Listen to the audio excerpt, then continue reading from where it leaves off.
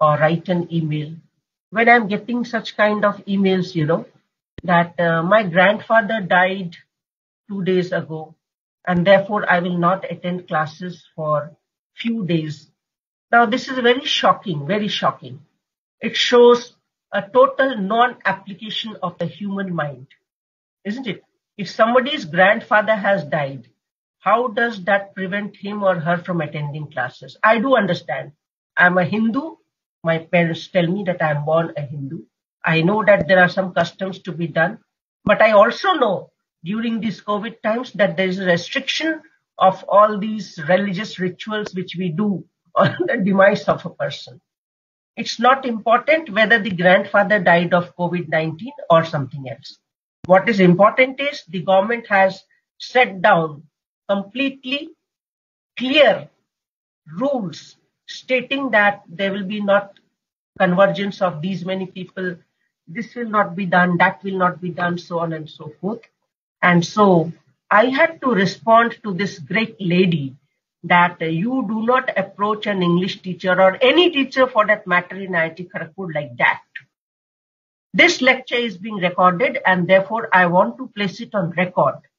If there's a demise in your family, if there's a birth in your family, if there's a wedding in your family, if there is anything in your family for which you want to take leave, you write to your direct supervisor, which is your HOD.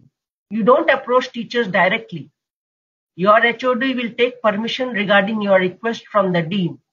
Thereafter, it will come to individual teachers. Over and above that, remember, the faculty member in IIT Kharagpur is all powerful.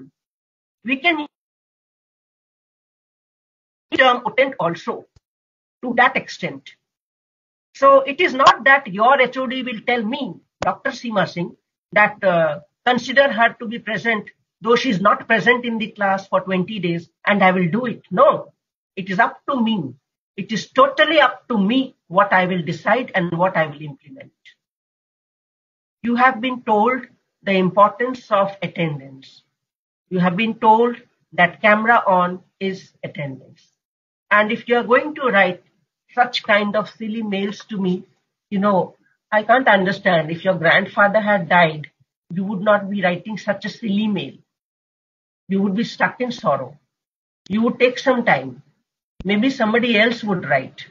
But you write such a silly mail to your English teacher and you expect that uh, it be accepted.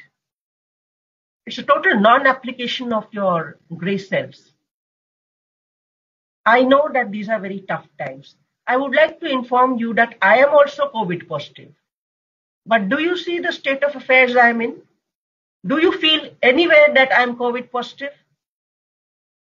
The rapid antigen I underwent on 18th showed positive. The RT-PCR was done on 18th. Until today, that is Friday, the report has not yet come. I do hear that sometimes the report comes inconclusive. But whatever it is, it is your mental strength which matters. As a student of humanities and social sciences, I will tell you one thing that it is this space and how you manage yourself, how you meditate, how you become strong individually, mentally, is what matters in today's world. The disease is there. Sooner or later, everybody will get it. The only issue is if you are coming out of the corona tunnel, whether you are horizontal or vertical when you come out of it.